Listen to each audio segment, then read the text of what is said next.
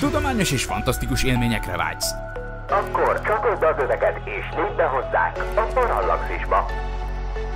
Üdvözlünk a Parallaxis univerzumban! Figyelem! A műsorban spoilerek bukkanhatnak fel. 12 éven aluliak számára nem ajánlott. Az MD Média bemutatja.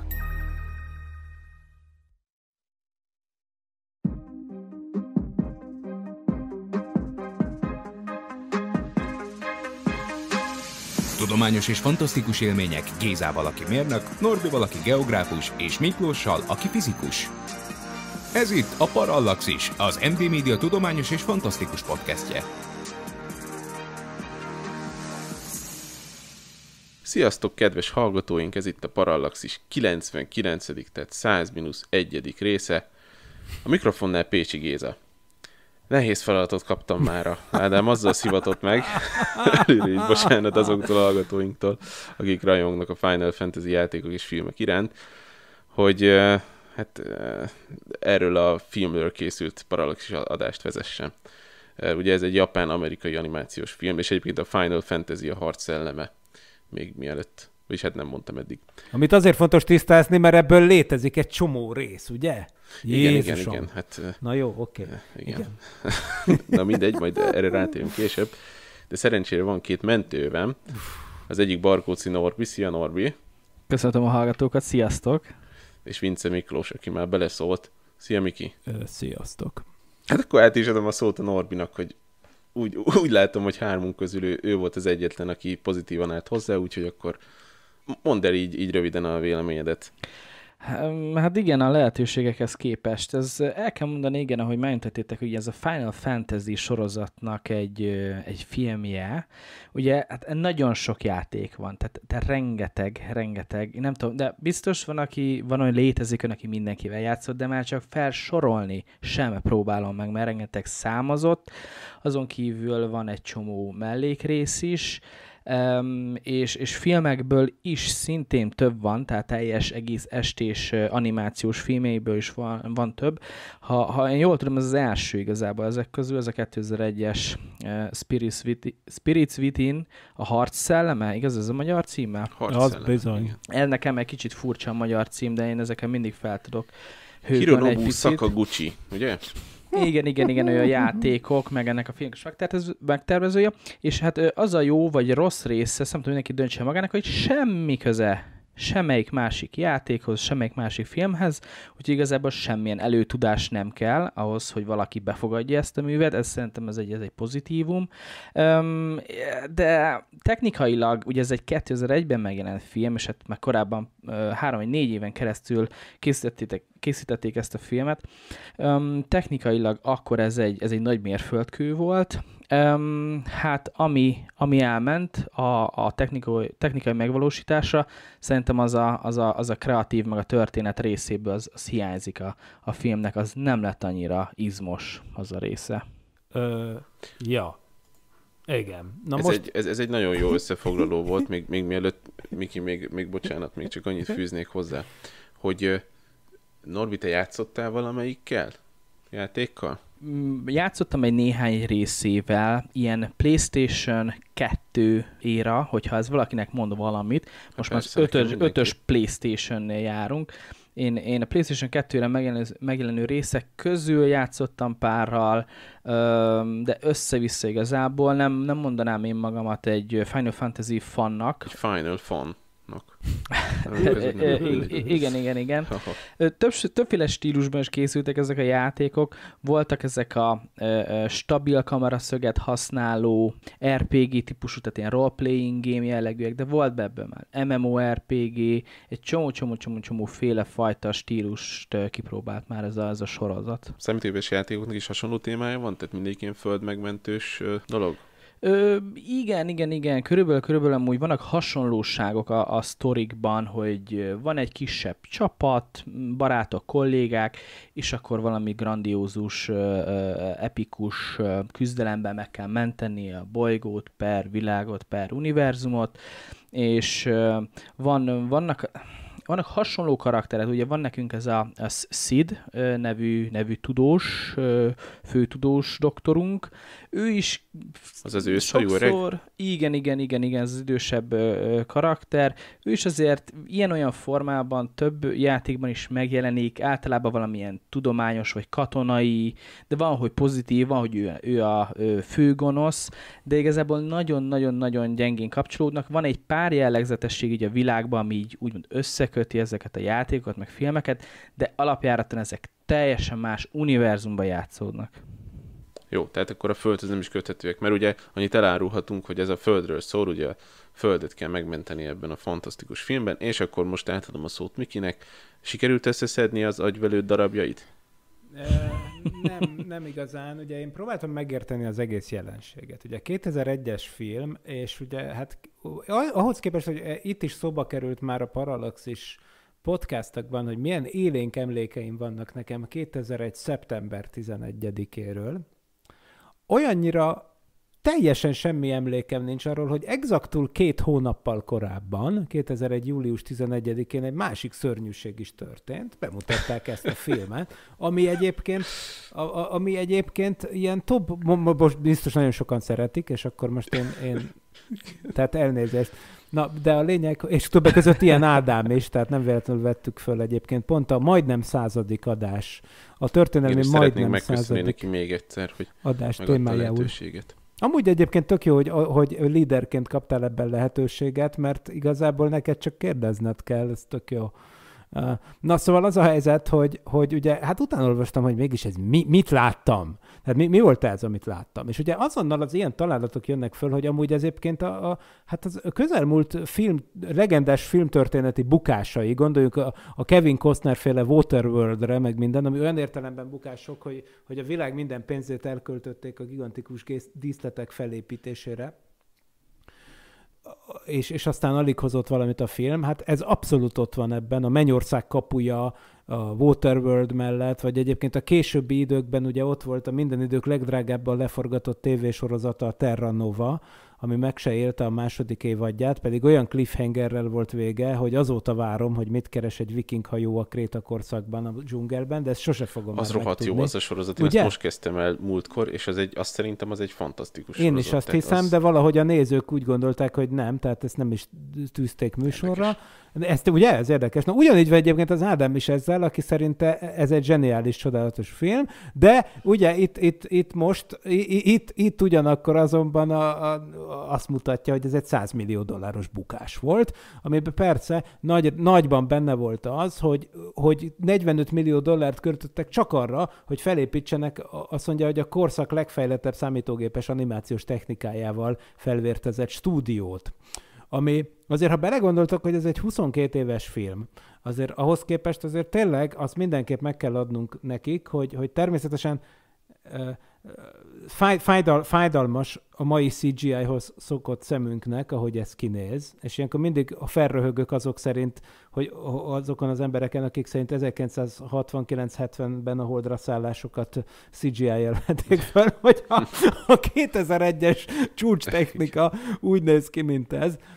De nyilván nem ez vele a bajom. A, a, hozzátartozik egyébként, hogy vallomások kategóriájában, hogy én soha nem szerettem a számítógépes játékokat, E, mármint az ilyen e, roleplay gémeket és hasonlókat, tehát e, ugye nyilván egy nagyon szűk réteget alkotok, mert nyilván ez egy rendkívül népszerű játéktípus eleve, meg ez az univerzum maga is, ez a Final Fantasy, ugye a emlegetett Hironobu Sakaguchi, ugye ezt gyakoroltam egész nap, úgyhogy most többször el fogom mondani, hogy Hironobu Sakaguchi, aki egy villamosmérnöknek készült, és hát aztán sajnos nem maradt az, de, de ugye a lényeg, hogy, hogy, hogy, a, hogy, hogy hát ö, ö, sajnálom, sajnálom, ne, nem, nem, nem én voltam ennek a célközönsége, és valószínűleg akkor sem, pedig akkor 16 éves voltam, amikor ezt bemutatták, ha jól számolom, tehát abszolút nekem kellett, hogy szóljon ez, meg az én generációmnak, és mégis az védelmi mechanizmusom már akkor lepattintotta, úgyhogy, ja, érdekes. De jó, de, de gondolj bele, hogy, hogy oké, okay, neked szemednek nem tetszett, de azért, ha belegondolsz, ez, ez, ez jó volt. Igen. Tehát szerintem látványra Igen, szép volt igazad a film. van. Így van. Látványra így szép van. volt, és mondjuk a mai, tehát ö, 20, ö, 23 évvel később, vagy már mondhatom, hogy 23 évvel később, egy számítéves játékban konkrétan még irányíthatod is a karaktert, a, a karakteredet, amelyikek így néznek ki. Ezt 2001-ben úgy tudták megcsinálni, hogy szuper számítógépekkel lettek, mert ugye emlékszek azért, hogy akkor a Windows 98 meg a, hát oké, okay, Hát 2000 már az XP, volt már. ja igen, igen, meg a Millennium Edition, ami hát ugye, na szóval hagyjuk. De hát ugye az azért nem mindenkinek volt még, és azért emlékszem még a Windows Movie Makerrel, amikor játszottunk, hát ott még azért elég ilyen papírból összerakott formák voltak, és azzal lehetett ott muzsikálni. Tehát ahhoz képest nagyon szép. Igen, ez Szerintem. tagadhatatlan. Így van, így van. És a Ezt Final Fantasy-nek ez, ez egy ilyen feature volt. Én nem hiszem mindig, amikor régen keresgettem ilyen honlapokon hátteret a gépen, mert mindig Final Fantasy ből voltak kirakva a háttérképnek, mert nagyon sok, tehát nagyon hátterekre, meg a kinézetekre nagyon sokat adnak egyébként, meg, meg eh, ugye ez a még egyszer a nevét, tehát Hiro, Hironobu Sakaguchi nagyon, nagyon jó ebben. Akarsz valamit mondani most már, csak Nem, most már hagyom is. Meg kell, Igen, védened, kicsit. mind, meg kell védened a filmet, és Igen. az egész franchise-t. Jó, Tehát jó, rád, rád megpróbálom. hárul ez a feladat. Tök jó, mert jó, Igen. ennem, jó egyrészt mondtátok persze a grafikát, meg, meg most ugye a holdra szálláshoz képest, de azért azt tudjuk jól, tehát, hogy igen, a holdra szállás az, az nem történt meg, oké, okay, Hollywood le akarta forgatni, NASA le akarta forgatni, nyilván a kora egyik legnagyobb rendezőjét, Stanley Kubrickot megkérték, hogy forgassa le a filmet, de ugye Kubrick megal- megalomániája miatt, ugye ragaszkodott hozzá, hogy eredeti helyszíneken forgassák. Szóval ennyit, ennyit erről. Öm, igen, hát persze, persze, persze, most már nem tudom, a telefonomon jobb játék fut, mint, vagy jobban kinéző játék fut, mint, mint ez a 2001-es film, hogy kinéz. De ez... Vannak olyan, vannak olyan ö, animációk, vagy vannak olyan CGI-ek, amik mondjuk jobban öregszenek, van, amik kevésbé. De ugye itt most ebben az esetben arról van szó, hogy ez egy teljes értékben ö, számítógépes képek, számítógépek által generált képekből áll. Nem az, hogy mondjuk a háttérbe oda teszünk Igen. Valami kis robbanás, és akkor vannak ö, ö, praktikus, valódi ö, effektek, meg mondjuk kicsit felturbózzuk, hanem itt teljes egészében erről néz ki, és amúgy öm, amúgy még nem lenne annyira vészes, szerintem ami a legjobban ledobja a, azt a bizonyos mit dob le? Mit akartam ebből kihozni? A De ruháját. nem tudom, elvesztettem az első szónál a fonalat már. A, a a leggyengébb része a filmnek, a grafika és az animáció részében az az arc, arcanimáció, uh-huh. olyan, olyan élettelen az összes ember, az összes karakter, hogy azt jó nézni. Amúgy ez Igen. nagyon jó, amit mondasz, Mm. mert ja, igen, bocsáss meg. Géza akart előbb valamit hozzáfűzni. Csak annyit szerettem volna mondani, hogy ugye én, én egyetemre, mikor jártam, 2010 és 14 között jártam, és emlékszem, hogy akkor, akkor magyarázgatták ezt, hogy akkor közvetett bejönni, hogy az emberekre tesznek ilyen pitacsokat mindenhova, és akkor azzal próbálják, hogy az összes mimikát, meg mindent, hogy, a, hogy sokkal élethűbben mozogjanak ezek a grafikus figurák. Szerintem ez, ez akkor még nem nagyon működött, és ez azért lehet. De mondjad, Miki. Igen, ugye az, hogy, hogy a nagyon jó, amit mondasz az élettelen arcokkal kapcsolatban, nekem is pont az a furcsa érzésem volt, ami szerintem a magyarul nem tudom, hogy hívják, de angolban Uncanny Valley nevű jelen, jelenségre get vettem észre magamon. Ugye miről van szó? Ugye arról van szó, hogy, hogy igen, itt valódi emberarcok, tehát nem ö, mesefigurák vannak meganimálva, és nem is avatárszerű másmilyen lények, hanem emberi lények vannak meganimálva tisztán CGI-jal, ami, ami nem véletlen, hogy nincs sok ilyen film. És én szerintem az egyik oka annak, hogy nincs sok ilyen film, bár mondjuk a, fel lehet, hozzá lehet fűzni, hogy persze van sok ilyen számítógépes játék, és ez is abból nőtte ki magát, de szerintem azért nincs sok ilyen mozifilm, mert van ez a jelenség, hogy amikor már majdnem úgy néz ki valami, mintha egy igazi lenne, egy igazi arc, egy igazi élő ember, de nem pontosan, akkor az ember viszonygást érez. És ez, ez ugye evolúciósan állítólag ez abból fakad, hogy a hullákat ne piszkáljuk, mert fertőznek. De egyébként ugyanez elő tud jönni mondjuk egy, egy panoptikumban, ahol nagyon jól kinéző viaszfigurák vannak. Tehát ugye azért hívják ezt völgynek, Uncanny Valley-nek, mert hogy az, hogy mennyire tetszik, mennyire érzem magam komfortosan, ha valamit nézek, az nem egy monoton növekvő függvény, hogy úgy fejezem ki magam, hanem hogyha egy nagyon egy e, e, mesefigurát nézek, mit tudom én, Miki Egeret, vagy jó ég tudja mit csinált, akkor természetesen meg se fordul a fejemben, hogy ez egy élő, élő lény, vagy egy élő ember, ez, ez triviális, hogy mondjuk nem, nem fogom rosszul érezni magam, hogyha megnézem a Popeye-t. Mert tudom, hogy hát nagy orra van, meg, meg máshogy néz ki. A négy ujja van, mint az összes rajzfilmfigurának, stb. stb.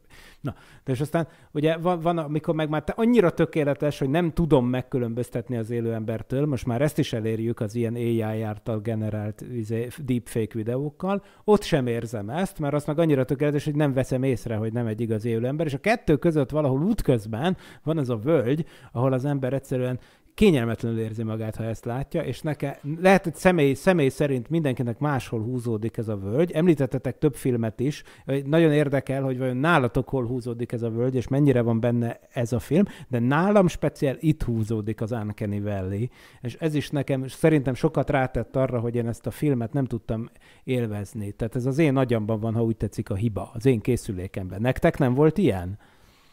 Igen, igen, igen, ezt, ezt nagyon jól mondod, Miki. E, én egy, talán, talán nem vagyok benne biztos, de szerintem a legékesebb példa erre, erre a jelenségre, amit most leírtál, ez a 2004-es Polar Express című film. Hogyha valakinek esetleg megvan, hogy Tom Hanks volt az egyik szereplő, a hangját is adta, meg úgy nagyjából a, a, a, a körvonalát, vagy az arcát is az egyik karakternek, és nekem az a, az, az Uncanny Valley non plus ultrája, az a, tehát az a legrosszabb, a legviszonyogtató. Hm. Én, én abból indulok ki, és ahhoz képest ez nem volt annyira vészes. Uh-huh. De, de igen, igen, igen, igen, egy picit, egy pár helyen, itt is kilógott a lóláb, és ez, és ez egy nagyon érdekes ö, ö, ö, jelenség igazából, mert igen, ahogy mondod, hogy, hogy amikor teljesen animált egy, egy Pluto kutya, stb., Tomás a gőzmozdon, ezeknek semmi probléma nincs. A fotoreálnál ott sincsen, de valahol van valami egy pont, aminél egy ilyen nagyon furcsa érzés, egy ilyen természetellenes érzés fog el, és ezt, ezt nagyon nehéz, nagyon nehéz így szavakba önteni, igazából tényleg látni kell. Na én erre csak annyit mondanék, hogy igaz, csak ezt most 2023-as éneddel mondod és ezt mondjuk megnézted volna 2001-ben, amikor még nem volt ehhez fogható, akkor lehet, hogy máshogy máshogy Gondolod? más lett volna a véleményed. Igen, Tehát jelenleg most már van olyan deepfake, amire azt mondod, hogy az, az, az, az, az azon már nem veszed észre, de akkor 2001-ben nem volt ilyen, és szerintem, hogyha akkor megnézted volna, ez most ugyanaz, de most tényleg de ez vissza. változik, ahogy növünk? Tehát Szerintem gondolod, hogy a mostani deepfake-re is máshogy fogunk tekinteni 20 év múlva? Tuti. Ha. Hát most én csak abból indulok ki, hogy nekem a gyerekkorom ugye a GTA játékok játszásával telt. Nekem ugye az, e- mondjuk az első az a három volt, azért ott az arcok, azok hát na, nem a legjobb, nem is a legrosszabb, de azért, azért minden kocka. Meg ugye ezt mondják is, hogy Tomb Raider karakterek, hogy fejlődtek. És ugye az első, az, tehát az, hogy már 3D-be tud mozogni, az akkor még rohadt nagy szám volt. Hm. És mindenki úgy nézte, hogy Uramisten, és hogy izé az ujjak látszódnak a kezén. Ez már nagyon nagy szám volt. Uh-huh. De most visszanézed, és így, Uramisten, én ezzel töltöttem el órákat. Szerintem az két dologra lehet talán visszavezetni, hogy egyrészt igen az, hogy, hogy, a, hogy a referencia, hogy tehát hogy annál nem volt jobb, most nyilván lehet vitázni, hogy éppen az adott évben megjelent játék, melyik a szebb, de mondjuk igen, 10-20 éves táblatból lehet mondani, hogy akkor az volt a csúcsa, tehát, tehát nem, nem láttál, senki nem látott annál jobbat. Így ergo, az persze, akkor nagyon menő volt. Másrészt meg szerintem ez egy kicsit így az emlékeink az ilyen pozitív pozitív felé csalnak egy picit, szóval a, megszépülnek azok az emlékek, jobbra emlékszünk rá, igen, tényleg ennek igen. ez egy jó példa, hogy vegyünk el egy 20-30 évvel ezelőtti videójátékot, hogy a fejünkbe hagyja, hogy ez milyen tök jó volt, meg milyen színes, és akkor meglátjuk, hogy ó, ez ilyen béna volt, tehát hogy szerintem ennek a kettőnek így talán a sajátos... Nem véletlenül vannak játékokban is remékek, tehát van, hogy grafikailag felújítják a játékot, hogy eladható legyen az újabb generációnak. Szerintem ez, ez emiatt van. Igen, de ugye tehát, hogy a, a, az igaz, hogy, hogy, hogy változnak az elvárásaink, és ezzel valószínűleg tényleg együtt jár az, hogy finomodnak a, az érzékeléseink, de amit én mondok, úgy alapjában ez a pszichológiai alapeffektus, ez, ez egy nagyon jól megcsinált viaszbabára is éppen úgy érvényes, amit annyira nem érint a technika fejlődése, tehát hogy, hogy, hogy tényleg ezt a, hogy, hogy hol van a határ, az szerintem tréningelhető valójában, és valójában mi tényleg folyamatosan fejlődünk el ezen a téren, mert egyszerűen mindig el vagyunk látva a létező legjobb CGI-okkal, és tényleg azt hiszem, hogy, hogy mi, a mi generáción konkrétan, hogy, hogy növekedünk, én ezt el tudom hinni neked, Géza, hogy, hogy finomodik ez, a, ez az, és ezzel eltolódik az érzésünk, és, és ennek ellenére én nehezen hiszem el, hogyha tehát, de, de, pont, de viszont pont ez az, hogy, hogy valójában, hogy, hogy valójában most már látjuk, hogy ez valamennyire azért gagyi, a grafika persze nagyon messze van a gagyitól, azért mindig nagyon, mindig minden szőrszála látszik a szereplőknek ebben a 2001-es filmben, tehát ez, ez nagyon rendesen meg van animálva, azért szerintem mostani szinten is elmenne, mondjuk például egy, egy honfoglaló magyarok éle, vagy a pozsonyi csatát bemutató történelmi opusznak mindenképpen elmenne. tehát, tehát hogy, hogy, hogy, például ilyen, info, ilyen izé, dokumentumfilmekben, hogyha ilyet látnánk, akkor azt tehát, hogy Mit akarok mondani? Azt akarom ezzel mondani, hogy mostani fejemmel azt már látom, hogy ilyen értelemben uh, már idejét múlt a technika, viszont még mindig benne van ebben az Uncanny Valley-ben, de nem azért, tehát, tehát hogy ez nekem nem azt jelenti, hogy nem tudom eldönteni, hogy igazi-e vagy sem. Pontosan látom, sőt, azzal egyetértek, hogy valószínűleg egyre jobban látom, hogy, hogy, hogy ez, ez nem igazi, természetesen. És lehet, hogy 2001-ben kevésbé láttam volna, de szerintem a kellemetlenség érzet az talán egy ettől független dimenzió. Nem tudom, én azt hiszem most nem tudom, Norbi, neked mi volt, nekem ez, ez azért nem volt Uncanny Valley, tehát én, én nem éreztem magam kellemetlenül a nézési közben, nem emiatt éreztem magam kellemetlenül, meg egyébként most jutott eszembe, hogyha, hogy oké, okay, igazam van, mert nekem mindig igazam van, de hogyha, hogyha megnézed mondjuk a Minecraftot, az meg pont az ellentétét mondja, aminek kb. nagyon sok kisgyerek a megszállatja. Iszonyatos fennye, meg Lego van belőle, meg minden, na és az meg ilyen 7 bites dolog, tehát hm Oké, okay, oké. Okay. Persze, hát az, az meg ilyen, ilyen ö, szempontból, vagy, vagy mondjuk stílusból a, a másik véglet, hogy ott, ott annyira ö, egyszerű formák, ugye Minecraftban pont, pont ez a, ez a, ez a kocka minden, és akkor legfeljebb más színű, meg egy-két kis, pár pixelni kis szín van Tint rajta. De igen, ott meg, ott meg, ott meg direkt arra mennek rá, hogy, hogy mennyire tudunk, nem tudom, abstraktan elképzelni dolgokat, és akkor ott ilyen minimális kis beadásokkal is már ki lehet fejezni. De, de igen, arra visszatérve, hogy nekem egy-két helyen volt zavaró, de hogy összességében nekem sem ez volt a fő gondom. Az Uncanny Valley itt nem ütött át annyira, benne volt egy kicsit, de, de nem vészes. Igen, amúgy nekem sem ez volt a fő gondom egyébként. Igen, igen, igen. igen. Ez... Na de mielőtt rátérnénk, hogy mi volt a fő gondod, Miki, még csak, még csak annyit szerettem volna elmondani, hogy ne felejtsétek el, hogy a századik adás lesz a következő, de ezt csak mindig beszúrom így középre. Mm hogy fenntartsam az érdeklődést, és ebbe az adásba képzeljétek el, hogy az Ádám is be fog jönni majd. Nem mondjátok De komolyan. A századikba, vagy ebben? Nem, a századikba, a, a századikba. Hát az, az, az, az, az, az idei utolsó, 2023-as utolsó paralaxis. A század, ú, de komoly, ú, az nagyon komoly lesz. Hát gondoltok vele, századás, az, az azért gombócból Az azért nem sok. semmi, hogy az Ádám ide, ide jön. Hát az, ez nem semmi, úgyhogy most ennek ágyazunk meg, hogy jól lehordjuk mindennek, hogy ezt a filmet ajánlotta, de egyébként ugye nem, de nem, mert a Norbinak tetszett ez a film. Én azt gondolom. Hát én azért ezt megvétóznám, de most elmondja majd ő. Jó, oké, tehát maga akkor a film igazából nekem egy közepes szintet lőnék be hozzá, tehát a, tehát a technikai megvalósítása nekem, nekem az, az eléggé, eléggé nyomós. Hát tényleg az, hogy 2001-ben ezt összerakták, és, és hogy akkor ez, ez, ez ment moziba. Tehát ezért gondoljunk bele, hogy ez egy, ez egy, ez végülis egy Final Fantasy, egy játék, videójátékon alapuló, egész estés animációs film. Azért ez, mondta Miki, hogy, hogy ő nem tartozik bele ebbe, de, de a nagy többség nem tartozik ez, ebbe a fanbázisba bele, főleg nem Magyarországon. Tehát ezért ezt lássuk be, ez egy e, e, Japánból elindult dolog, Amerikában is elterjedt, Európában is, de nem annyira azért. Tehát, hogy e, ezt beküldeni moziba, és hogy ez nem fog anyagilag rekordokat döntögetni, szerintem ezt akkor is tudták már. De le a kalappa, hogy tényleg ezt megcsinálták, és, és ilyen, ilyen szintű ö, animációt azt lehoztak még egyszer ugye 2001-ben. És, és itt kell megemlítenem Hironobu Sakaguchi nevét. mindenféleképpen Igen. így van, így van, így van. de tényleg, hogyha csak ennek a, nem tudom, összegnek, vagy a, a, a szakembereknek egy kis részét arra tették volna, hogy nem tudom, normális történetet, párbeszédeket, vagy nem tudom, ilyenekre is, is költöttek volna, az, az jól állt volna a filmnek, e- erőteljesen. Tehát, hogyha mondjuk ez egy, nem tudom, ez egy tucat ilyen animációs, vagy ez egy élő szereplős, húsvér emberekkel leforgatott uh, skifi lenne, de ugyanígy megcsinálva, ilyen, ilyen négy pontnál többet nem érdemelne a film. Így, uh-huh. így talán öt, akkor már nagyon uh, Jó, most a pontozást hagyjuk a végére, de, de minden jól átjön. Jó, uh-huh. ugye legyen rend a világban, még akkor is, hogyha ez majdnem a századik adás, Hironobu Sakaguchi. Igen. Uh, Szóval, ja, ezt csak úgy néha beszúrom, mert hogy mennyivel tudok hozzájárulni. Ja, mert olyan igen, jó. Igen, igen. Tehát ugye végighúzódik ezen a filmen ez a, ez a föld, földvallás vonal, meg a gája, hmm. meg, meg ez a, ez a földszellem. Ugye 2055-ben játszódik a film, ami 32 év múlva lesz, hát 31 jövőre.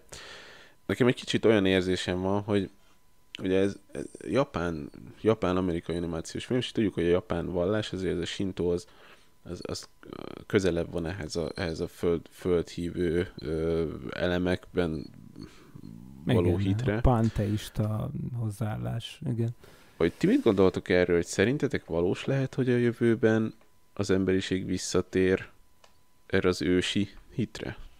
Hát, hogy um, a jövőben mondjuk milyen, milyen hit, vagy mondjuk milyen, milyen vallás... Uh... Mert szerintem ez egy érdekes vonal, kevés ilyen film van, jó, mondjuk van, vannak még filmek, uh-huh. amiben ez hasonló előjön, de egy ilyen kollektíven... Hát figyelj, azt nem tudom, az, az tényleg nagyon nehéz lenne megjósolni, hogy mondjuk, hogy egyáltalán lesz olyan a jövőben, hogy mondjuk az egyik ilyen mm, hiedelem, vagy hitrendszer úgymond elterjed a világban. Most itt nyilván nem arra gondolok, hogy az összes többi teljesen eltűnik, de mondjuk, hogy nem tudom, mint az angol a nyelvekben, hogy, hogy azt úgy nagyjából hogy mindenki mindenhol úgy beszél, és akkor ilyen szinten, vagy mondjuk egy-egy vallás. Ilyen szempontból én nem tudom, hogy inkább csak az én az én buborékom miatt, de én úgy gondolom, hogy a technológiai fejlődés miatt szerintem ez lehet, hogy azért egy picit még háttérbe is fog, ö, háttérbe fog szorulni az ilyen, az ilyen típusú, vagy hogy nem azt akarom mondani, hogy teljesen eltűnik, csak nem lesz, nem ez az elsődleges ö, ö, meg, meghatározó jellege az emberek életének, a társadalom szervezésének, meg az egész emberek gondolkodásának az alapja, hanem inkább a, a, a technokrata gondolkozás és a, és a, és a technikai fejlődés és a, és a materiális, materiális javak. Ezek... Tehát ez ateizmus. Hát, ha, ha, ha ez ateizmus, akkor igen, akkor, akkor szerintem, szerintem ez, de, de lehet, hogy Sőt, csak, biztos, mert, csak, csak én csak azért én. mondom, mert, mert amit mondtál, tehát ez a technokrata, materialista valami, ez, ez tehát én, nekem az, az következik ebből. Csak hogyha megnézitek, hát ugye kezdődött, hogyha visszamegyünk ugye a görög, meg római korra, ugye ott ez a, ez a polipoliteizmus volt, több, több istenhit, ami ugye Japánhoz közelebb van. Aztán utána ez a monoteizmus ehhez kezdett elterjedni, és, és ugye ez a másik világháború óta, meg a, a ateizmus minél inkább teret nyer, de ugye a, a monoteizmus a, a másik, ami ugye az iszlámban is, meg a kereszténységben is, azért világ nagy részén általános. Nekem az a véleményem, hogy szerintem 30 év alatt ez nem nagyon fog megtörni, Igen, tehát de, ahhoz valami... De azért, azért kiálltál egy dolgot, ugye a panteizmust, amit említettem, tehát ez egy kicsit már hajaz a Spinoza féle vallásosságra, ami azért egyáltalán nem ateizmus, hanem az konkrétan ugye a buddhizmusban és, és egy csomó keleti filozófiában is azt érjük tetten, hogy igazából minden telem, teremtett dologban benne van az Isten.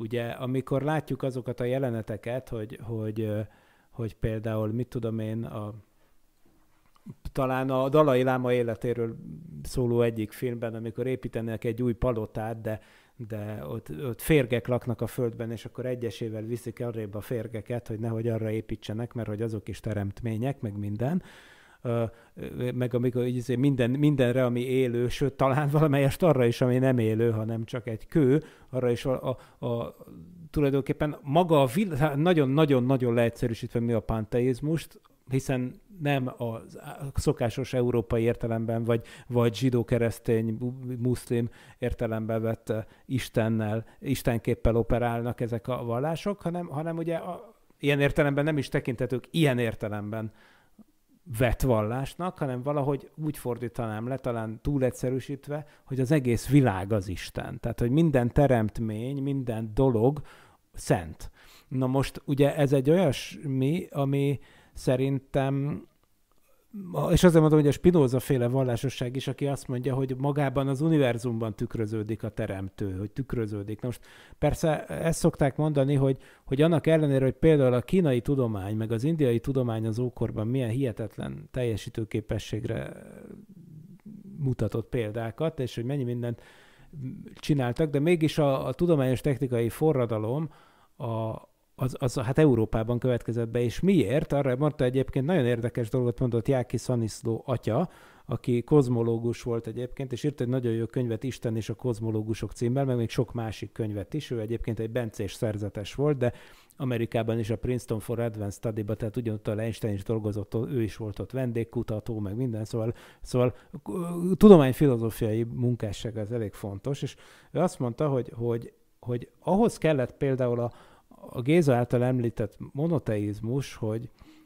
hogy markánsan szétválasszuk Istent és a teremtett világot. És hogyha meghúzzuk a vonalat, hogy ez két tök külön dolog. Van Isten, és van az általa teremtett világ, de az nem Isten, tehát az, az nem Isten, hanem az a teremtett világ, akkor onnantól kezdve azt a teremtett világot a szabad szétszedni, szétboncolgatni, megvizsgálni, kísérleteket végezni vele, kettévágni a, a gilisztát, hogy milyen a belseje. Tehát mindes, olyasmit megcsinálni, amit egy tisztességes panteista soha nem tenne, hiszen ő amikor rátapos egy gilisztára, akkor tulajdonképpen magára Istenre tapos rá ilyen értelemben, és azt soha nem tenné meg.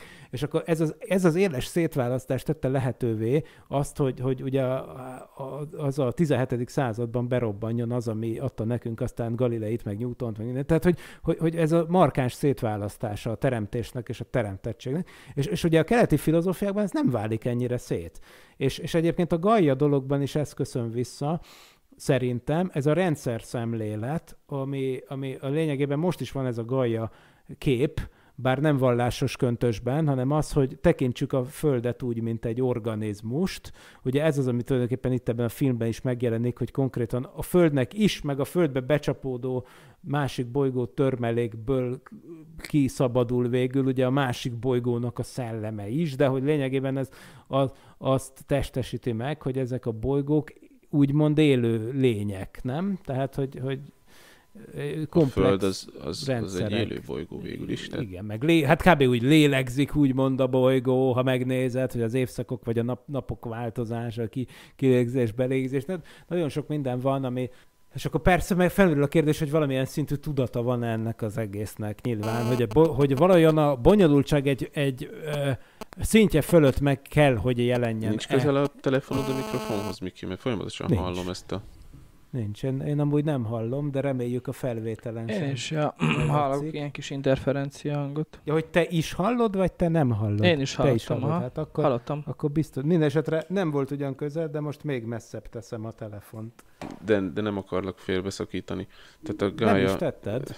Innen Én jöhet. azt elmondtam, amit gondoltam, csak meg annyit tetnék hozzá, hogy azért azt is meg tudja érteni az ember, hogy a napot miért imádták a régiek, mert tényleg mennyi minden jön a napból, meg tényleg végül is mindannyian napenergián működünk, meg, meg a, na, a nap, nap az élet forrása. Tehát, nem tudom, tényleg... ti hogy vagytok ezzel, de én pont múltkor gondolkoztam el ezen, hogy ugye most megkezdenek hidegebb időszakok lenni, és akkor, hogyha van egy beborult idő, és csak egy minimál, egy pici pár pillanatra előjön a nap, és ezt érzed az arcon, azt a melegséget. Csak így múltkor elgondolkoztam ezen, hogy nagyon sok ember van a Földön, és hogy az a pici napfény, az hány arcot melenget meg. Ezt most el- elmentem ilyen költői magasságokba. Hogyha visszatérünk ugye erre a vallási dologra, meg ugye ugyancsak a japán vallásban, hogy ez a szell- szellemek, azok nagyon jelen vannak, és szerintem ez a filmben is visszajön. Tehát az egész idegenek bemutatása, ez mondjuk szerintem ez, ez egy nagyon jó ötlet a filmbe, és egyszer ezt én már mondtam is, hogy mi van, hogyha az idegenek úgy jönnének el a Földre, hogy nem is látnád őket, meg át tudnának mindenen menni, mert egy olyan dimenzióban vannak, ami nem a mi, ált, mi általunk érzékelhető három dimenzió. úgy is kezdődik a film, hogy tulajdonképpen ezek a idegenek át tudnak menni mindenen, és ez kell egy speciális eszköz, hogy te lásd őket. Én, én úgy értelmeztem legalábbis, hogy ugye ilyen eltévedt lelkek, akit akár szellemnek is hívhatunk, és igen, azt mondtad, hogy át tudnak menni minden fizikai tárgyon, de azért itt van valamilyen energia alapú védekezés, ugye az a, az a pajzs is, ami a, az a kupola, város, ami, ami a, amivel az emberek ugye össze vannak gyűlve, és el vannak szeparálva így a kinti világtól, hogy azon elméletileg nem tudnak átjönni, tehát hogy igazából mégis van azért valami olyan elektromágneses, nem tudom, hullám, amin azért nem tudnak úgy át, átmenni, tehát végeredmény, akkor végig csak valahol tudnak interaktálni ugye a mi, mi világunk, hogy mindig ugye ez a lényeg, hogy, hogy, hogy nem tudnak, vagy csak, vagy csak valamennyire tudnak. De, de néha van testük is, nem? Tehát ha többdimenziós lények lennének, akkor be tudnának, át tudnának jönni a falon. E, igen, igen, ugye, ugye ez... Mert ha belegondolsz, hogyha rajzolsz egy kétdimenziós kört, attól te a harmadik dimenzióban meg bele tudod tenni a, a papírra az ujjadat. Tehát épp ez az, hogy a, hogy, hogy ugye ilyen értelemben nyilván nem egy másik dimenzióból jönnek, de az lehet, hogy egy másik anyagfajtából vannak, csak ugye tényleg látszik ez az anyag, tehát világít, van valami kölcsönhatás. Amúgy persze a, a mi világunk is tele van olyan részecskékkel, ami kb. akadálytalanul haladnak át egymáson. Gondoljunk a neutrinókra például, amik akadálytalanul keresztül mennek szinte teljes egészében a Földön. De ha nem is megyünk annyira messzire, hát a folyékony nitrogént is át tudod önteni úgy a, a, a Ja, igen, szöveten, igen, pontosan. Hogy... Így, igen, igen, ugye ez a szemcseméret kérdése is. Szóval igen, abszolút, abszolút vannak ilyen dolgok. De arról nem is beszélve, hogy rögtön a fény. Tehát az, hogy igazából milyen vicces, hogy, hogy, hogy a fény a fényen át tud menni anélkül, hogy kölcsönhatna egymásra. Ugye ez nagyon vicces, mert különben, tehát hogyha én úgy is keresztül tudok nézni a, a szobán, és lá, látlak téged, hogy közben keresztbe is megy a fény. Tehát ezért nem gondolunk ebbe bele, de azért ezek nem triviális dolgok. És nem is volt mindig így egyébként az univerzumban. Nagyon jó kérdés, hogy ezek miből vannak ezek a lények. Erre, ez, ezt próbáltam így kideríteni én is a filmből, de gondoltam, hogy hát, ha majd aki ismeri ezt az univerzumot, az jobban meg fogja tudni mondani, és akkor kacsintgatok, hát a Norbi azért valamennyire vágott. Nem, nem, összességében nem, nem tudom, meg ugye, amit mondtam is az elején, hogy, hogy nincs, nincs köze amúgy a, a többi, többi címhez, meg a többi játékhoz, úgyhogy ilyen szempontból ezt sem tudom megmondani, hogyha játszottam volna a játékokkal, amit nem tettem meg igazából, lényegében, hogy itt milyen, milyen, milyen szabályok, vagy szabályszerűségek, mi a, mi a tudományos része a, a úgymond a műnek, mert a, a fiction az, az van bőven, Persze. de viszonylag kevés az a, az a sci rész, amit hát egyáltalán nagyon érdekes, mert ugye az embereknek ugye lelkére mennek rá, tehát hogyha valakit elkapnak, akkor így, így kiszippantják belőle a lelket, ami így az ereket mutatja be ugye az animáción keresztül, tehát egy, egy, ilyen, egy ilyen humán ér gomolyagot így kiszívnak az emberből, ugyanakkor pedig meg tudják fertőzni az embert. Tehát nekem ez is érdekes a filmben, tehát hogy a lelkedre mennek, de mégis be tudnak oltani téged ilyen, ilyen hát én úgy hívtam, hogy ilyen lapos férgekkel, mert úgy nézett ki, amik, amik így nem jók utána. Én, én ezt nehezen tudtam bárhova is tenni igazából, mert oh, oké, okay, ez, a, ez a lélek igazából, ez, ez, ez ugye, amit nehezen lehet megfogni, meg ugye ez nem, nem egy materiális dolog a mi fel, vagy az én felfogásomban, de ők mégis ugye erre pályáznak, és ezt tépik ki belőlünk. Uh, Oké, okay, de aztán igen, láttunk olyat a főszereplő, főszereplő hölgynél is, hogy belé került, belepetéztek, vagy valami ilyesmi, és akkor ott belülről átveszi az, az uralmat a teste felett, meg, a, meg az elméje felett. Én, én itt nagyon sok másik kortárs, vagy közelkortárs film hatását véltem felfedezni, és, és nagyjából én addig jutottam el, hogy ezt tök jó, bele kell tenni. Tehát, hogy itt azért volt egy pár, mondjuk, ha csak egy filmet kell mondani, Matrix, ugye az 99-es az a film, hát elég, elég sok mindent nyúltak onnan a, a készítők. Aha. Hát igen, igen, de azért az például mennyire máshogy öregedett. Egyébként tényleg, hogy a Matrixot azt még sose beszéltük ki, hát az annyira adná magát. Az, mert ott, na, viszont pont ez az, hogy azt mondtuk, hogy a science fiction. Most eh, megnézem, most ó, kisfilmnak köszönhetően nagyon jó sorozatot szoktunk nézni, amit mindenki ismer ebben az országban, száz epizódja van, az a címe, hogy Magyar Népmesék. Na most ennyi erővel a magyar népmeséknek szerintem, hogyha ez egy science fiction, akkor a magyar népmeséknek a 60%-ára én rá tudom húzni, hogy science fiction, mert ami, ami csoda dolgok történnek ott abban, hogy mit tudom én, hogy, hogy, hogy kinyílik egy ajtó, hogyha elmondod a varázsszót, és akkor bejutsz a nem tudom hova, ahol a föld alatt ott vannak az ördögök, és nem tudom mit csinálnak, meg a mindent járó malmocska izé, anyagot materializál a nem tudom miből, és akkor ez, hogy, hogy ugye olyan dolgok történnek, amik nyilván ugyanezeket a történeteket, hogyha tudományoskodó szakkifejezéssel teleraknám, akkor azt mondanám, hogy hát ez, ez izé, ez science fiction, és több lenne, több, pontosan. Terű, terű És asztalkám. Ugye? Most akkor a, akkor a, a terű-terű asztalkám az teljes mértékben olyan, mint, a, mint a, mikor generálod a, a kaját a Star Trek-en. Csak Igen? egy valamit hagysz ki, Miki, hogy ezek a magyar Ezek népmesék, a Siriusról jönnek. ezek, ezek általában vala, vala, vala, tehát ezt a magyarok hozták magukkal, amikor idejöttek a Kárpát-medencébe, és mi a magyarok az első civilizáció Igen. a világon. Ők ezt Hát a csinálni. hozták le a technikákat. Amúgy. Igen. Én, én nagyon úgy érzem, hogy jövőre hát egy fél évadnyi paralaxis témája, akkor már meg is van Figyelj, ez egy neki. nagyon, figyelj, én abban nagyon benne lennék egyébként, igen, igen. Erik von Részről is részre, elismerően csettintene, hogy a, izé, a magyar, magyar népmesek kincsben elrejtett földön kívüli üzenetek. Fú, ezzel aztán egy új, újabb réte, hallgatói réteget tudnánk megcélozni, nem? De azt hiszem, hogy van, van, egy, olyan, van egy olyan magyar is. népmeség rész, amiben vannak földön kívüliek. Végül is amúgy, most nem amikor jön egy angyalka, vagy ott terem egy nem tudom mi, ami megcsinálja neked a dolgokat, hát ez nem olyan, mint, mint IT. Mert én minden szombat reggel szokott menni egyik kereskedelmi csatornán, és néha oda-oda tévedek, és azt hiszem pont múltkor érdekes is volt. Őrület. Oké, okay. tehát vannak ebben lehetőségek. És, és mi ez a romantikus vonal egyébként? Norbi, téged kérdezlek, hogy, hogy ez a csajszi, ez összejön valakivel benne, nem? Aztán éppen akarnak csókolózni. Igen, igen, igen. Hát azért egy ilyen, mm, egy gyöngébb ö, szerelmi szállat, azt, ezt, ezt el kell helyezni, nem? Tehát egy ilyen, egy ilyen hollywoodi, nagy, nagy költségvetésű filmben ez, ez, ez muszáj. A, ugye ez a régi, a régi szerelme, hogy már együtt voltak, de aztán szakítottak, és akkor most újra egy picit ö, egymáshoz közel kerülnek. Hát és az ráadásul az Alec Baldwin, Tehát, hogy nem? az, hogy Vagy súlytalan, valami- Ugye? Mert hogy igen, á, a szinkronangolókról igen. nem is beszéltünk, és de nyilván azért igen. valamennyire az arc is tükrözi ezt, bár mondjuk nem tudom, hogy aki úgy néz ki, mint a Zacher Gábor, az ki lenne. Ott az...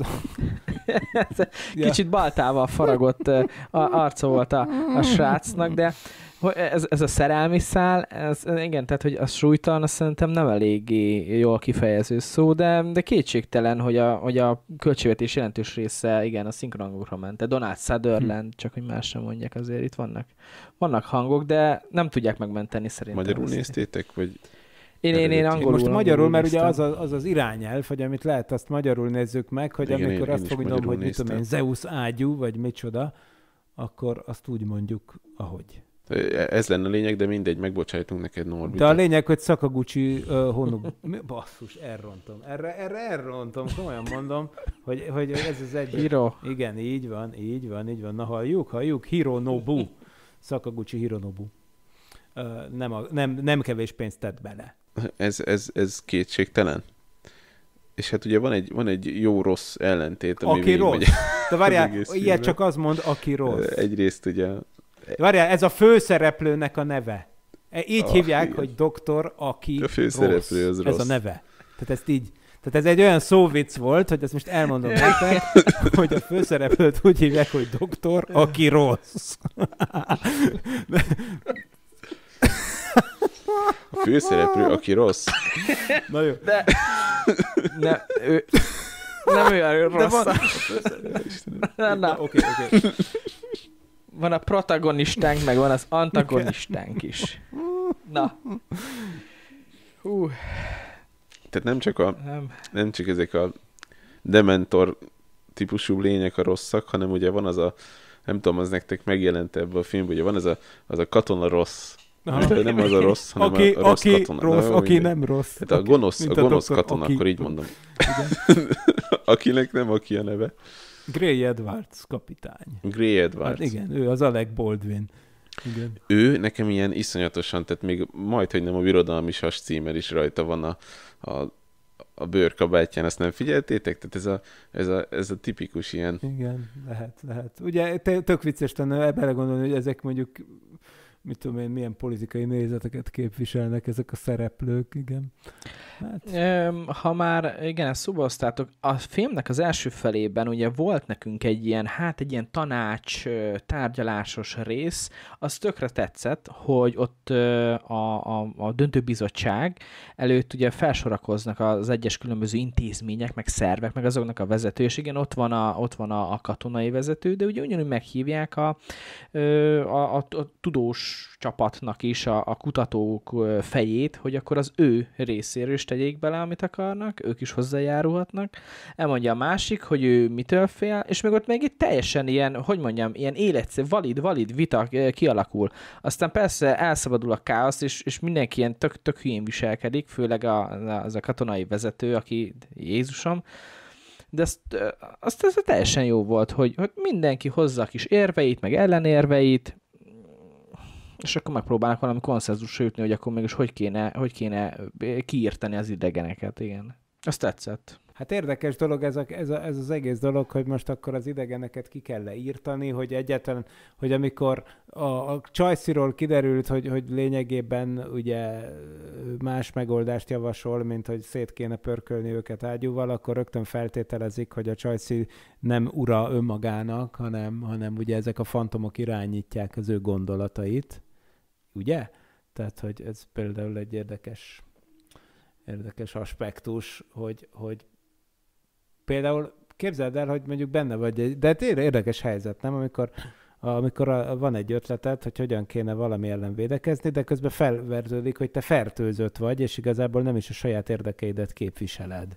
Mint ahogy az a, az a valami vírus, amelyik direkt a hangyákat fölviszi a fa Igen, tetejére. ugyanezt akartam mondani, bizony, úgy, igen, nagyon jó. Na, ott a tudomány, tessék, itt a tudomány a filmben. Ez egy kedvenc filmem, de ezt már szerintem többször említettem, ez 1982-es John Carpenter féle a dolog, ugye, és ott is arról van szó, hogy ugye tökéletesen lemásolja az eredeti gazdatestet, ez, az, ez a földön kívüli lény, és onnantól kezdve nem fogod tudni, nem tudsz különbséget tenni, és nem tudod, hogy az ő, vagy nem, úgyhogy ez egy nagyon, nagyon ö, hálás téma. Na, de most már lassan mindjárt itt lesz az adásnak a vége, úgyhogy mondjátok el, hogy mennyit adnátok. Tudom, most már Norbi mondta, hogy ötöt, de... De nem- lehet, hogy azóta már meggondolta magát, Igen, tehát azért lehet, még sikerült meggyőznünk, Meg hogy lehet, ez egy hogy- jobb film. Jobb film. Lehet, hogy a hibámat a vágóasztalon korrigálták, és akkor az eltűnt, és akkor most tudom mondani, hogy igen, igen, igen, a technológiai megvalósítás miatt én, én adok neki egy, egy ötöt, de lehet csak a lágy szívem, és igazából egy négyesnél többet nem érne a film. Igen, csak, csak ezért vagyok vele ilyen elnéző, mert azt mondom, hogy ez, ez, ez megjárja 2001-ben ez a, ez a szint. Hát igen. Na most itt az izgalomsűrűséget és a tudományos megalapozottság sűrűség időfejlődését integráljuk, nem tudom, nullától, mit tudom én, két és végtelen óráig, ameddig ez tartott, és akkor ott végig ve- vesszük az egészet, megfelelően normalizáljuk. ezt. Hát, nem tudom, kettő és fél. Kettő és fél. Ó, Nem az én világom, sajnálom. Egyébként nem, ne, mi- minden tiszteletem egyébként tudjuk kié. Hiro, Igen, na, na, megy, menni fog. Hironobu. Sakaguchi. Igen. Így van, bizony, bizony, minden, minden tiszteletünk a jó öreg Hironogújé, de hát sajnos nem, valószínűleg nem én voltam a célközönség, és eleve reménytelen voltam, úgyhogy bár két és fél pontot adok, de ezt, ezt ne vegye rossz néven ez a, ez a derék villamosmérnök, és, és, és én azt hiszem, hogy, hogy nem, nem volt igazságos, hogy egy 100 millió dolláros bukás volt, mert például az Ádám, na, aki majd a századik adásban hallatszani fog, Ami a következő adás ami a lesz. következő adás, ugye, a Hironogu-val ö, biztos egyetérten abban, hogy ez egy jó dolog volt, és, és, és kár belém, kár belém a végső fantázia. Mi itt jobban el tudtunk volna költeni a Parallaxis univerzumon belül 100 millió dollárt. Szerintem. Szerintem. Géza, pontozz! Ö, igen, ö, Szerintem Miki, te ezt nagyon lehúztad, tehát szerintem Le. ez azért van, mert te nem szereted a számítógépes játékot, van, és pontosan, most, most így van. Ezért veszem majd, hogy lehúzom ezt a filmet, mert nem játszok számítógépes játékot. Igen, hát nem, nem, nem, hát nem akarom, nem, de hozzáteszem ugyanakkor, hogy nem, nem vagyok releváns véleményalkotó. Szerintem látvány, mondom, 2001-hez képest szép volt. Ez igaz. Az, hogy másfél órán kerül, keresztül össze-vissza futkározó embereket nézek, tehát ugye szokták ezt mondani, hogy öreg vagyok én már bohócnak, nem esett jól. Ugyanakkor az autós üldözésre, ezt még, azt még akartam mondani, volt egy autós üldözés rész, amikor ugye beugrottak egy ilyen buggyba, és akkor az a nagy sárkánygyík ment utánuk, amit megint nem értek, mert ha mindenen át tud menni, akkor miért kéne autóval menni el? Na mindegy. Lényegtelen. Azt tetszett, tehát azt szerintem szép, jó meg volt oldva nagyon, tehát tényleg figyeltek a fizikára, meg mindenre. És nem értem, hogy például amikor a itt közelről mutatták, és így jobbra-balra mozgatta a fejét, akkor miért úgy hullott a haja az arcára, mint hogyha itt nem földi gravitáció lenne, hanem valami messzi bolygónak a gravitációja. Tehát egy kicsit irreálisan mozgott a haj. Én annyira a, ami... imádom, amikor te ilyeneket meglátsz egy ilyen filmben. Hát ez szenzációs. Hogy a haja hogy esett le, hogy ez egy kicsit, mint a irreális lett volna. Ez óriási. És, de, és ez azért van, mert szerintem ott számítási kapacitás, tehát ahhoz rohadt nagy számítási kapacitás kell, hogy, hogy a, a haj az, az, az élethű is legyen. Nem fogod beprogramozni az egy, milliárd, ha- egy egymillió hajszálat, hogy az úgy essen. De mégis Ugye ettől ezeknél, lesz. a, ezeknél a japán játékoknál ez, ez, ez kulcsfontosságú. Tehát a haj, meg annak a mozgása, meg kinézete, tehát olyan extrém fri- frizurákkal rendelkeznek, ha csak a Final Fantasy sorozaton belül maradunk, hogy jó, nyilván nem tudom, de szerintem külön-külön osztály foglalkozik a programok, programozók között csak a hajjal, de aztán lehet, hogy tényleg így van, de ne. De amúgy Igen. meg az a kérdésedre, hogy miért kellett oda autós ültözés, amikor mindenen átmegy, hát azért, mert mondta, mondta Hironobu Sakaguchi-nak az amerikai producer, hogy hát figyelj, ha te egy olyan amerikai filmet akarsz, amit mi le- legyártunk, you know, itt a Columbia Three Star, le, legyártjuk itt neked, ö, nagy, nagy pénz lesz, de kell benne néhány fontos elem, amik megkerülhetetlenek. És hát az egyik ilyen az az autós üldözés, nem? Úgyhogy most menjél vissza, és rakjál bele egy autós őzést, addig ne is lássalak. Így van, pontosan így történt. Igen. Úgyhogy És ezt megerősíti, hogy a trailerben is benne van. Én A trailert is megnéztem. szerintem Texasban egy ilyet nem lehetne eladni. is megnézted, Miki. Igen, csak azért kellett bele az a jelenet, hogy legyen mit rakni a trailerbe, de sajnos még így is 100 milliós veszteséget termelt. Igen. Nehéz Több is dolog. veszett Mohácsnál. Én egy négyest adnék rá amúgy. Nagyon, nagyon, nagyon helyes, mert, mert én nagyon rosszul éreztem magam, de most így átlagban akkor helyreállítod a dolgot. Igen. Négyest adnék rá. Egyébként az IMDb az uh, IMDb 6,4-et adott rá. Úgyhogy De az Ádám azt mondta, hogy az egy nagy kultuszfilm. Tehát azt mondja az Ádám, hogy a idézzük szerint, a amit rajongóknak, írt, igen. hogy, hogy, Tehát a, hogy, a- hogy a science fiction rajongók, Igen. ugye amikor megírtam neki, hogy, hogy hát bocsánatot kérek, de mi, mi volt ez? Mi, mi volt ez az egész? Azt mondja, jó, ha tudjátok, hogy minden science fiction rajongó felkapja a fejét, ha erről a filmről van szó. Tehát, hogy úgy látszik, hogy ez egyike lehet azoknak a filmeknek, amelyek óriási veszteséget termeltek, ám de később legendássá váltak. Ugye ilyenekre is látunk példákat, nem egyet, amik popkulturális jelentőségük, annak ellenére később bekövetkezett, hogy, hogy amúgy meg óriási bukta volt. Vannak ilyenek. Na jó, hát felkapják a fejüket, csak ugye kérdés mennyire, mert hogyha csak így picit, meg így, félve, meg ilyenek. csak azért, hogy mi? Mi? Mert hogy vannak azért, amire jobban Igen. felkapják, de lehet, hogy erre is egy picit Hát igen. Hú, mérsékelten. hát azt hittem, hogy nehezebb lesz erről a filmről ennyit beszélni, de hát mégis sikerült. Viszont a patronálóinknak még folytatjuk. Tehát, hogyha Na ott valakinek ez nem volt kihívás. elég, és ott Igen, mondjuk el az igazi dolgokat. azért- Mikit, igen. Mikit még leintettem, tehát ott fogja A elmondani nagy- majd, hogy mik A voltak nagy még ágyukat a filmben. oda. Az Zeus, az. Zeus ágyút. A nagy Mhm.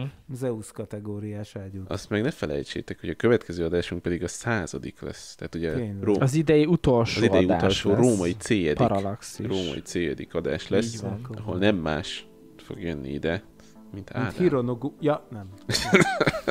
Hironogu Ádám. Bu, Hironobu Sakaguchi. egyébként, meg ezt is elrontom. Hironobu Sakaguchi. Hironobu. Ami nem máskor lesz, mint december 21-én. A századik adás? Bizony? Igen, Képzeljétek el. Igen, őrület. Századik. Száz. Ez kemény. Ez Szép kerek. Szép kerek, igen.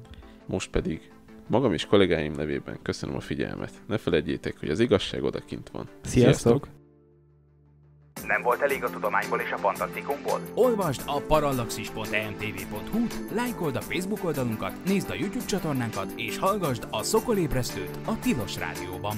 A Tudományos Újságírók Klubja és a Tudományos Ismeretterjesztő Társulat által a Juhari Zsuzsanna díj külön díjával jutalmazott blog podcastjét az MD Media készítette. Kreatív producer Horváth Ádám Tamás. Hamarosan jön a következő rész.